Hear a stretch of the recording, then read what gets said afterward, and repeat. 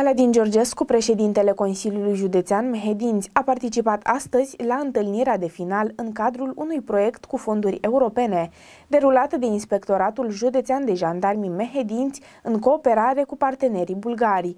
Acest program are ca scop asigurarea interacțiunii și cooperării transfrontaliere, rapide în cazul situațiilor de urgență cauzate de catastrofe naturale sau provocate de om.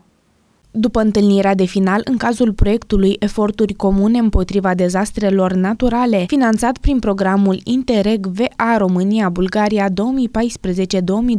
președintele Consiliului Județean Mehedinți, Aladin Georgescu, a postat pe pagina sa de Facebook un mesaj de felicitare pentru inspectorul șef al Jandarmeriei Mehedinți, colonelul Adrian Zanfir. Îl felicit pe inspectorul șef al Jandarmeriei Mehedinți, domnul colonel Adrian Zanfir, pentru proiect, dar și echipa de implementare din cadrul instituției și mă bucur că instituțiile din Mehedinți, de care oamenii au nevoie în situații de urgență, au ajuns la un nivel la care atrag bani europeni pentru perfecționare profesională și dotare. Este un proiect de mare anvergură care, odată implementat, va ajuta la creșterea capacității de reacție în situații de urgență. Totodată s-au derulat întâlniri de instruire și s-au achiziționat echipamente de intervenție.